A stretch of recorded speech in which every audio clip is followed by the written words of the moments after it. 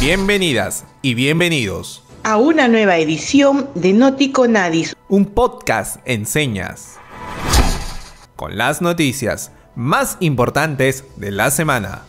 Comenzamos. Gobierno Regional del Callao desarrolla programas de actividades deportivas.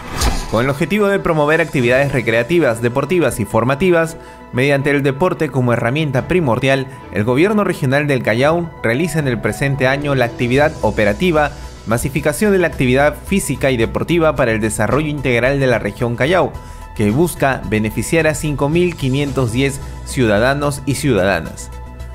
Los beneficiarios y beneficiarias son de todas las edades, pues se busca incrementar la participación de niños, niñas, adolescentes, adultos, personas con discapacidad física e intelectual, así como adultos mayores en las distintas actividades que se brindarán.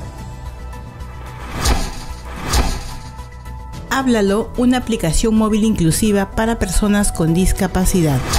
En el año 2017, con apenas 18 años, el emprendedor argentino Mateo Salvato inventó Háblalo, una aplicación móvil inclusiva para personas con dificultades para comunicarse. A la fecha, más de 200.000 personas la utilizan en todo el mundo. La app tiene un traductor de texto a voz y viceversa para facilitar la comunicación entre personas con discapacidades auditiva, visuales, parálisis cerebral o cualquier dificultad de comunicación.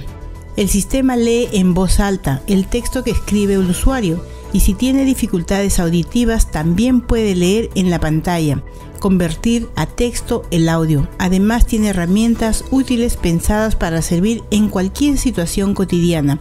Su descarga es gratuita y se puede utilizar sin conexión a internet.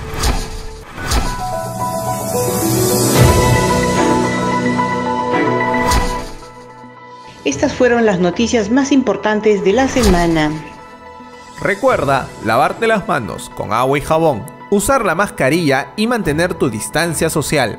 Gracias a todas y todos por su atención. Hasta la próxima. Siempre con el pueblo. Gobierno del Perú.